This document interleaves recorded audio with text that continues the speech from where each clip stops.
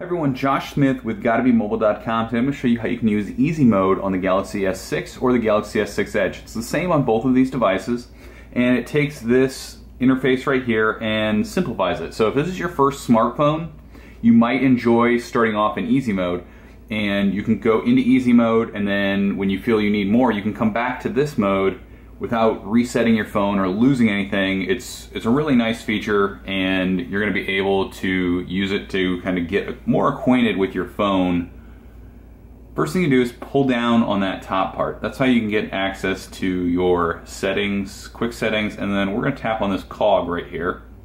That's going to take us into our full settings. Now, you may be up here all the way at the top. We're just to scroll down about halfway till we see easy mode. I'm going to tap on easy mode and right now you can see we're in standard mode and I'm going to tap on easy mode and then I'm going to scroll down here and I can choose the apps that I want. So if I don't want a certain app because I know I'm not going to use it at all, I can turn it off and it won't put it there for me. Most of these you'll want, I turn email off because I use the Gmail app which is a lot better than the built-in email app. Everything else you'll probably want to keep and then hit done and it's going to kind of, it looks like it's going to reset, but really all it's going to do is quickly switch the look. And so now we are in easy mode. On this main screen, we have some of our main apps, and you notice we still have access to the internet, we have our gallery, we have the same camera. So you're not really giving anything up, it's just making things a little bit bigger, easier to find, and for some users, easier to use. And I can go over here, and I can hit plus and it will let me pick a new app to place there. So for instance, I mentioned I use Gmail instead of the regular mail app. Now I can put that there and I can fill these up with other apps that I use frequently. You'll notice this also adds a magnifier so you can use your phone as a magnifying glass to see things that are hard to see.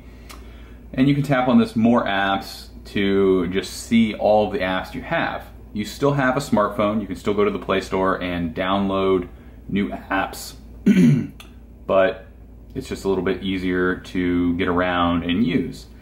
Now up here at the top you have a help button which will walk through using easy mode, how to manage your contacts, your shortcuts, and how to edit your home screen. So you always have, no matter what home screen you're on, access to that help so that you can find that. Now you can tap on edit and this is where you can add new home screens. Say you want more contacts over there or more apps over here, you can do that just by tapping that edit up there at the top.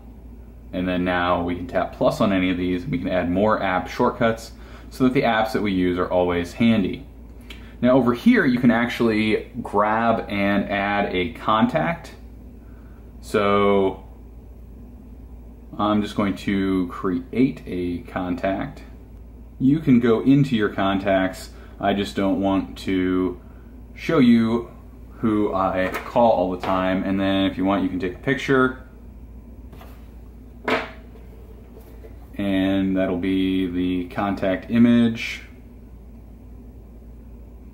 Just so you have an idea of what you get here. So now that contact is right there. So you can tap it and quickly access them so that you don't have to go into your phone dialer to find them. And that's really all there is to using easy mode. Now, when you want to exit easy mode, you pull down, go into settings, and you'll notice your settings now have a quick settings up at the top by default where you have all of your common settings. And here I'm going to tap on easy mode. Then we tap on standard mode and this is going to turn easy mode off. And I'm going to hit done and within a second I'm back to the regular mode. You'll notice everything's just the way I had it before and it's all there.